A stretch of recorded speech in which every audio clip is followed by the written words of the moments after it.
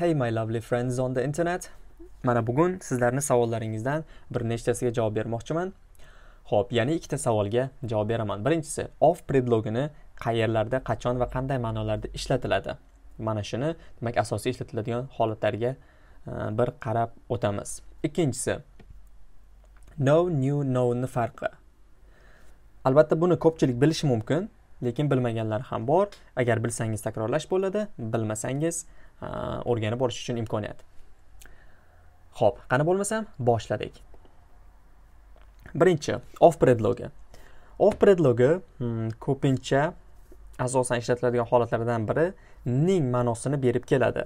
Ning ya'ni tegishlilik. Biror nima biror narsaga tegishli bo'lganda mana shuni nazarda tutganimizda shunaqa aytmoqchi bo'lsak ning qo'shimchasi e, ma'nosini berib keladi. Misol uchun the back of the house. The back of the house. Of the house degani mana shu joyda uyning bo'ladi ma'nosi. Of ning qo'shimchasini beryapti. Of the house uyning the back. Back orqa taraf orqa taraf degani orqasi. Uyning orqasi uyning orqa tarafi. Ho'p keyingi misol. The end of the day. The end of the day. Mm. the day kun degani uh, of the day kunning the end. Oxiri end degani oxiri degani the end. Demak kunning oxiri the end of the day kunning oxiri. Ho'p yana ko'p uchraladigan uchratadigan misolingiz. A friend of mine a friend of mine. Mine degani meniki degani o'zi. Mine endi of mine mening bo'ladi ma'nosi. A friend of mine mening do'stim bo'ladi. Mening do'stim a friend of mine. Mening do'stim yoki do'stlarim do'stlarimning biri. Do'stlarimning biri deb tarjima qilsangiz ham bo'ladi. Yoki do'stlarimdan biri. Xullas mm, mana shu ning qo'shimchasi ko'p holatlarda keladi. Ya'ni biror nima biror narsaga yoki biror kim biror kimga tegishli bo'lgan holatlarda. Ho'p yana misol. Hmm. Is she a friend of yours? Is she a friend of yours?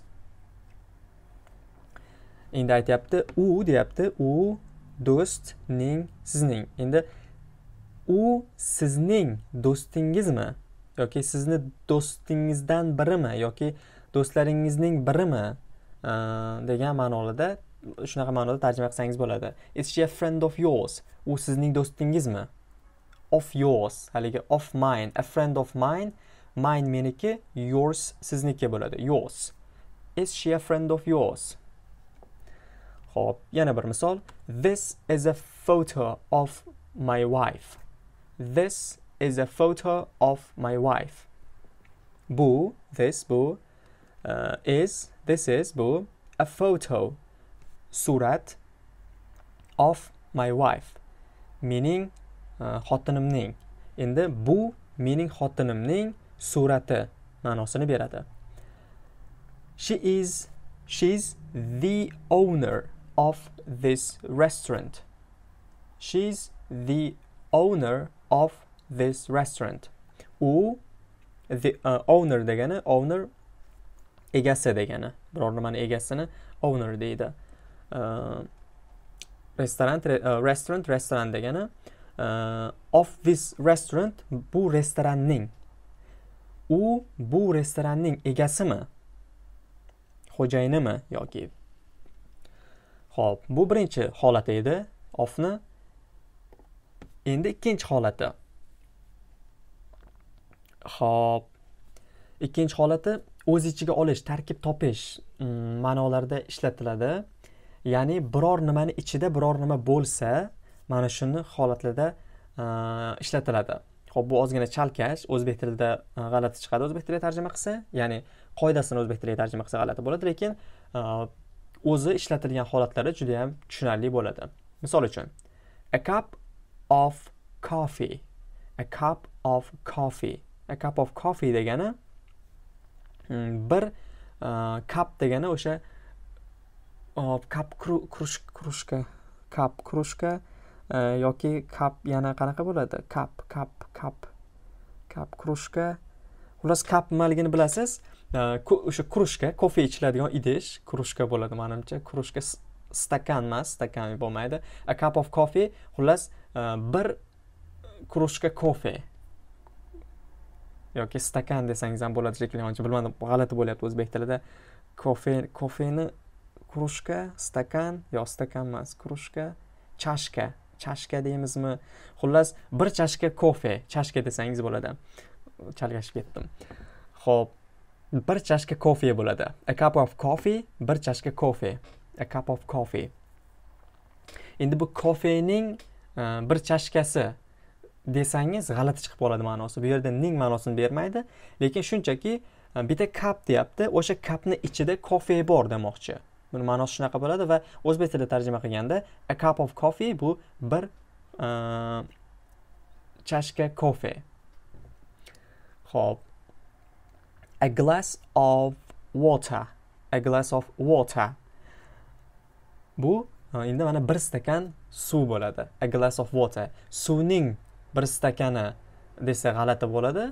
E, qanaqadir tushunarli bo'lsa ham lekin a glass of water bir stakan suv bo'ladi. Hmm, demak stakanda a glass of water stakanda suv bor. Stakan ichida suv turibdi degan ma'noda bir stakan suv bo'ladi a glass of water. Ho'p keyingi misol. A several packets of cigarettes. A several packets of cigarettes. Several degani bir nechta degani paket o'sha anaqa sigaretni qutisi korobkachasi deysizmi?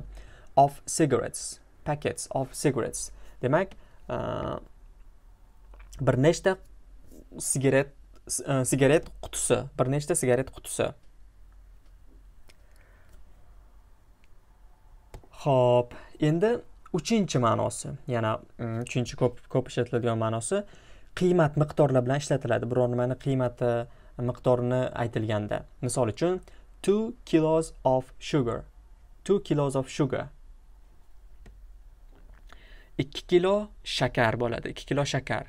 Shakarning 2 kilosi desangiz ham bo'ladi, lekin o'zbek tilida shakarning 2 kilosi desa bilmadim qanaqa bo'ladi. Xullas g'alatiroq chiqib qoladi ma'nosi chiroyli chiqmaydi two kilos of sugar ikki kilo shakar bo'ladi demak qiymat miqdorida aytganda kilos of millions of bo'lib keyin u yog'ida noun qo'shasiz ya'ni ot ikkinchi ikkinchi gap uh, misol millions of dollars. Millions of dollars.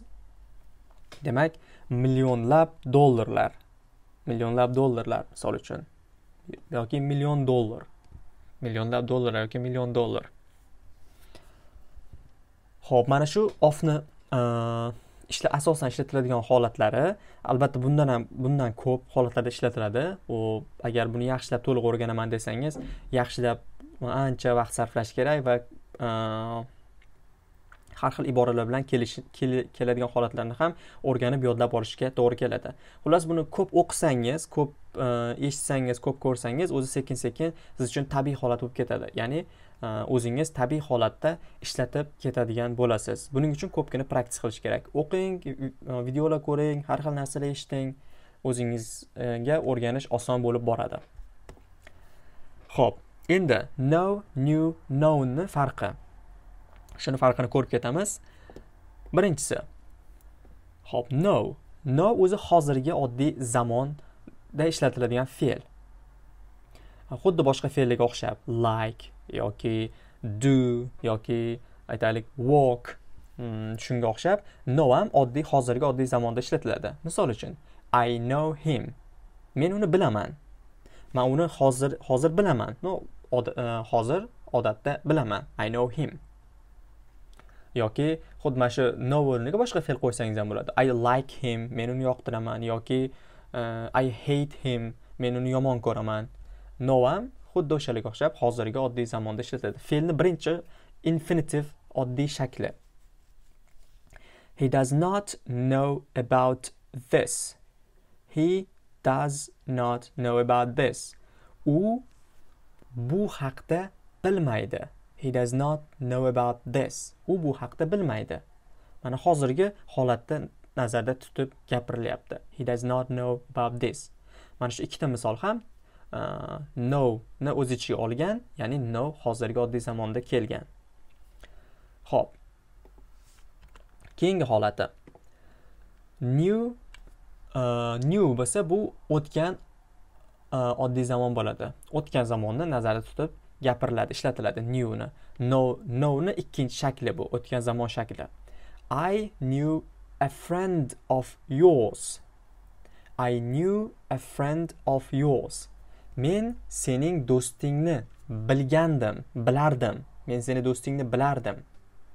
Oldin misol uchun aytaylik. Men seni do'stingni bilardim. O'tgan zamon uh, gap bo'lyapti bu. Ikkinchi ma'no. They knew about this yesterday. They knew about this yesterday. Ular bu haqda kecha bilishgandi. Ular bu haqda kecha bilishgan kecha bilishgandi. New o'tgan zamon bo'lyapti. Va oxirgi known hozirgi tugallangan zamon known hozirgi tugallangan zamon bu uh, present perfect zamoni boru. Present perfect hozirgi tugallangan zamon. Mana shu e, bilan ishlatiladigan fe'l ya'ni know fe'lini uchinchi shakli hozirgi tugallangan zamon uchun. Misol uchun i have known her for a long time. Mana present perfectni present perfect albatta bilishingiz kerak buning uchun hozir buni yaxshilab tushunib olish uchun lekin siz hozir muhim biladigan narsa bilib olishingiz kerak bo'lgan narsa bu known hozirgi tugallangan zamon present perfectda ishlatiladigan know fe'lini shakli bo'ladi. I have known her for a long time. Men uni ko'p vaqtlar davomida bilganman bilib kelganman. Uh, have known bo'lsa o'sha bilganman bilib kelganman bo'ladi. For a long time o'sha anchadan beri bilib kelgan hozirgacha mana shu hozirgi mana shu gap gapirilgan nuqtagacha e, uni bilib kelganman va bundan keyin ham bilishim mumkin degan anaqasi ma'nosi bilishim mumkin yoki bilaman degan qanaqadir ma'nolarni e, berishim olish mumkin mana shu gapdan. Hop ikkinchi gap. Have you known your mistakes so far? Have you known your mistakes so far? So far degani so far hozirgacha yoki so far so far amerikanchada aytmoqchi bo'lsangiz so far uh, so far hozirgacha degani mistakes bu xatolar uh, demak your mistakes. Sen hozirgacha shu paytgacha uh, xatolaringni bilganmiding? Have you known your mistakes so far? Hozirgacha sen xatolaringni bilganmiding? Bilganmiding? Have you known bo'lyapti?